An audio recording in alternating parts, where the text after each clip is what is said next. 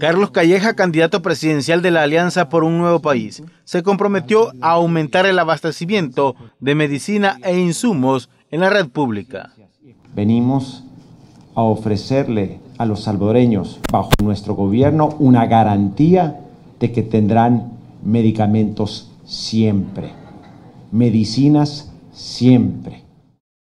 Para la fórmula presidencial de la alianza integrada por los partidos Arena, PCN, PDC y Democracia Salvadoreña, la clave está en hacer un uso eficiente en los recursos del Estado y hacer de lado el despilfarro para garantizar el servicio de salud para los salvadoreños.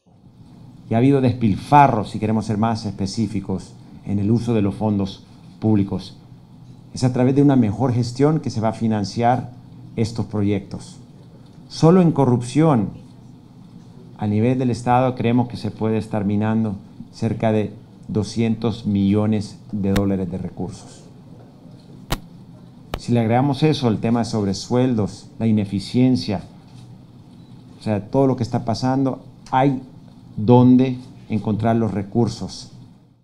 La propuesta consiste en centralizar las compras en un centro de distribución de medicamentos, en donde se tenga actualizado el inventario y se proyecten las demandas de medicamentos. En los primeros 100 días de, nuestro gobierno, nosotros vamos a actualizar eh, el sistema de necesidades de medicamentos de la red de salud. Necesitamos manejar inventarios mínimos. Necesitamos identificar cuáles son las proyecciones de consumo. Eso no es algo que no se puede hacer.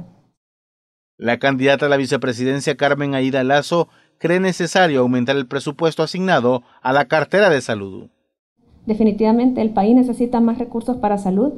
Como señala Carlos, nuestra apuesta es acuerdos de nación en torno a esos temas, aumentar los recursos en salud, aumentar los recursos en educación, pero sobre todo también hacer un mejor uso de los recursos que ya se tienen.